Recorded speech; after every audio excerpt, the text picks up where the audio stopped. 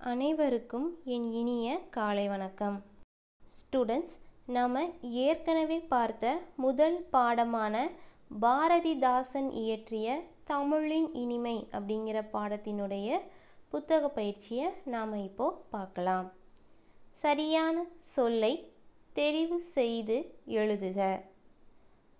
First question களை இச்சொல் உணர்த்தும் சரியான பொருள் டேஷ் கரும்பு கரும்பு கருப்பு கருப்பு. நம்ம ஏற்கனவே களை அப்படிங்கிற சொல்லின் பொருள் கரும்பு அப்படின்னு பார்த்தோம் இல்லையா? ஆனால் இங்கே என்ன கொடுத்துருக்காங்க? ரெண்டு சொல் கரும்புன்னு கொடுத்துருக்காங்க. கரும்பு அப்படின்னாலே எந்த ரூ தான் வரும்? சின்ன ரூ தான் வரும். அப்போ விடை அ கரும்பு. செகண்ட் கொஷின் கனியிடை இச்சொல்லை பிரித்து எழுத கிடைப்பது டேஸ் கனி கூட்டல் இடை கனி கூட்டல் இடை கனி கூட்டல் இடை கனி கூட்டல் இடை. கனினா என்னன்னு பார்த்தோம்? பழம். அப்போ கனினாலே ரெண்டு சுழி நீ தான் வரும். கூட்டல் குறிக்கு அடுத்து வரக்கூடியது உயிரெழுத்தாக இருக்கும். அப்போ விடை இ கனி கூட்டல் இடை. தேர்டு கொஷின் பனி கூட்டல் மலர் என்பதை சேர்த்து எழுத கிடைக்கும் சொல் டேஷ் பனிமலர் பனிமலர் பன்மலர் பனிமலர். இதில் பார்த்தீங்கன்னா நம்ம கூட்டல் குறியை எடுத்துட்டு அந்த இரண்டு வார்த்தையும் அப்படியே சேர்த்து எழுதலாம்.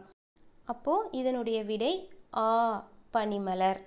அடுத்தது கீழ் காணும் சொற்களை பிரித்து எழுதுக. ஆ களை இடை. இதை எப்படி பிரிக்கலாம் அப்படின்னா களை கூட்டல் இடை. அந்த சொல்ல இருக்க கொலை அப்படிங்கிற வார்த்தையை எழுதிக்கிறோம். கூட்டல் குறிக்கு அடுத்து அந்த ஈ அப்படிங்கிற எழுத்து என்னவா வராது? சொல்லினுடைய முதல் எழுத்தாக வராது. அதனால் என்ன பண்ணுறோம் அப்படின்னா உயிரெழுத்தான ஈ அப்படிங்கிறத போட்டு இடை களை கூட்டல் இடை அப்படின்னு எழுதுகிறோம் ஆ எண்ணுயிர் இது எப்படி பிரிக்கலாம்? எண் கூட்டல் உயிர். நம்ம ஏற்கனவே காலை கூட்டல் இடை பிரித்தோம் இல்லையா? அதே மாதிரி தான் எண் அப்படிங்கிற வார்த்தையை எழுதிக்கிறோம். அதுக்கடுத்து நூ. நூ அப்படிங்கிறது என்னவா வராது? சொல்லினுடைய முதல் எழுத்தாக வராது. அதனால் கூட்டல் குறிக்கு அடுத்து என்ன போடுறோம்? உயிரெழுத்தான உ போட்டு உயிர் அப்படின்னு எழுதுகிறோம் அடுத்தது பெட்டியில் உள்ள சொற்களை பொருத்தி மகிழ்க. பெட்டியில் என்னென்ன சொல் கொடுத்துருக்காங்க? கரும்பு வெல்லம் பசு தென்னை. ஃபஸ்ட்டு ஒன் பால். நமக்கு பால் தருவது எது பசு. அப்போ ஃபஸ்ட்டு ஒன் பசு. செகண்ட் ஒன் சாறு. நமக்கு எதிலிருந்து சாறு கிடைக்குது? ஆ வெரி குட் கரும்பு. அப்போ செகண்ட் ஒன் கரும்பு. தேர்டு ஒன் இளநீர். இளநீர் தருவது எது தென்னை. அடுத்து ஃபோர்த்து ஒன் பாகு. நமக்கு பாகுலேருந்து என்ன கிடைக்குது? வெல்லம் அப்போது பால் பசு சாறு கரும்பு இளநீர் தென்னை பாகு வெல்லம் அடுத்தது இப்பாடலில் வரும் ஒரே ஓசை உடைய சொற்களை எடுத்து எழுதுக. ஒரே ஓசைனா என்ன தங்கம்? இங்கிலீஷில் ரைமிங் வேர்ட்ஸ்னு படிச்சிருப்பீங்க இல்லையா? நமக்கு உச்சரிக்கிறதுக்கு அந்த சொற்கள் எப்படி இருக்கும்? ஒரே மாதிரி சவுண்டாக இருக்கும். அதை தான் என்ன சொல்கிறோம் ஒரே ஓசைன்னு சொல்கிறோம் கனி இடை களை இடை பா இடை பாலும் தேனும் நீரும் சுவையும். அடுத்தது பாடலில் இரண்டாம் எழுத்து ஒன்று போல் உள்ள சொற்களை எடுத்து எழுதுக. இரண்டாம் எழுத்து அப்படின்னா செகண்ட் லெட்டர் பாடலில் இடம்பெற சொற்களில் எந்த சொற்களிலெல்லாம் செகண்ட் லெட்டர் சேமாக இருக்கோ அதை எடுத்து எழுத சொல்லியிருக்காங்க. கனி இடை பனிமலர் நனி பசு இனியன எனினும். இந்த சொற்களிலெல்லாம் இரண்டாம் எழுத்தா என்ன வந்திருக்கு? நீ வந்திருக்கு. அடுத்தது தென்னை எண்ணுயிர் என்பேன். இந்த சொற்களிலெல்லாம் இரண்டாவது எழுத்தா என்ன வந்திருக்கு? இன் வந்திருக்கு. பாடலில் வரும் வருணனை சொற்களை எடுத்து எழுதுக. வருணனை அப்படின்னா புகழ்ந்து சொல்றது. பனிமலர் நனி பசு.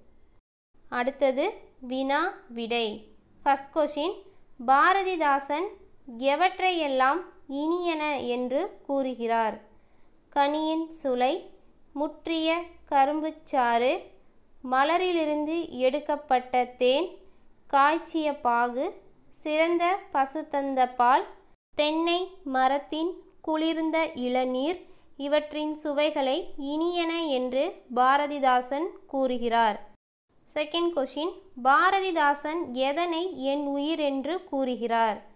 பாரதிதாசன் தமிழை என் உயிர் என்று கூறுகிறார். அடுத்த பாடம் கவிதை பட்டிமன்றம் அறிவா பண்பா. சரியான சொல்லை தெரிவு செய்து எழுதுக. ஃபஸ்ட் கொஷின் நற்றமிழ் இச்சொல்லை பிரித்து எழுத கிடைப்பது டேஷ் நல் கூட்டல் தமிழ் நட் கூட்டல் ரமிழ் நன்மை கூட்டல் தமிழ் நல்ல கூட்டல் தமிழ். விடை இ நன்மை கூட்டல் தமிழ். செகண்ட் கொஷின் உலகம் என்னும் பொருளை குறிக்காத சொல் டேஷ் வானம் அண்டம் செகம் அகிலம். விடை அ வானம். தேர்ட் கொஷின் அறிவு கூட்டல் ஆயுதம் என்பதை சேர்த்து எழுத கிடைக்கும் சொல் டேஷ் அறவாயுதம் அறிவாயுதம் அறிவு ஆயுதம் அறிவாயுதம். விடை ஆ அறிவாயுதம். ஏன் அப்படின்னா சொல்லினுடைய இடையில் உயிரெழுத்து வராது. அதனால் உ கூட்டல் ஆ எடுத்துட்டு அதுக்கு பதிலாக என்ன போடுறோம்? வா போடுறோம். அதனால் ஆன்சர் அறிவாயுதம்.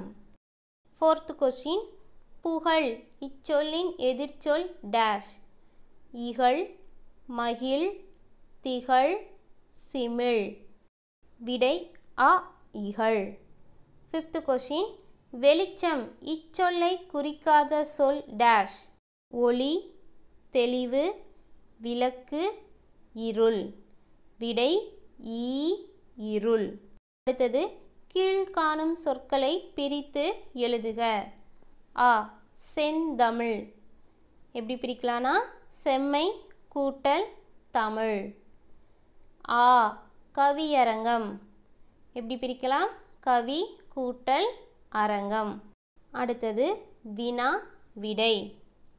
ஃபஸ்ட் கொஷின் அறிவால் உயர்ந்தவர்களாக இன்சுவை யார் யாரை குறிப்பிடுகிறார்? அறிவால் உயர்ந்தவர்களாக இன்சுவை Abdul Kalam Thomas Alva Edison ஆகியோரை குறிப்பிடுகிறார். செகண்ட் கொஷின் பண்பால் சிறந்தவர்களாக மதியொலி எவரையெல்லாம் குறிப்பிடுகிறார்? பண்பால் சிறந்தவர்களாக மதியொலி புத்தரையும் வள்ளுவரையும் குறிப்பிடுகிறார். தேர்ட் கொஷின் உயிர்காக்கும் நெல்லிக்கனியை யார் யாருக்கு கொடுத்தார்? உயிர்காக்கும் நெல்லிக்கனியை அதியமான் அவ்வைக்கு கொடுத்தார். ஃபோர்த்து கொஷின் ஐம்பொறிகளுள் ஒன்று கொடுக்கப்பட்டுள்ளது. மற்ற நான்கையும் எழுதுக. கண் காது மூக்கு வாய் மெய். ஃபிஃப்த் கொஷின் தமிழை சிறப்பிக்கும் பெயர்களை பாடப்பகுதியிலிருந்து எடுத்து எழுதுக. செந்தமிழ் முத்தமிழ் நற்றமிழ் செம்மொழி நருந்தேன் ஸ்டூடெண்ட்ஸ் இந்த இரண்டு பாடங்களுக்கான புத்தக பயிற்சிகளையும் வினா விடைகளையும் நீங்கள் நல்லா படித்து மனப்பாடம் செஞ்சுக்கோங்க. மீண்டும் அடுத்த வகுப்பில் சந்திக்கலாம். நன்றி.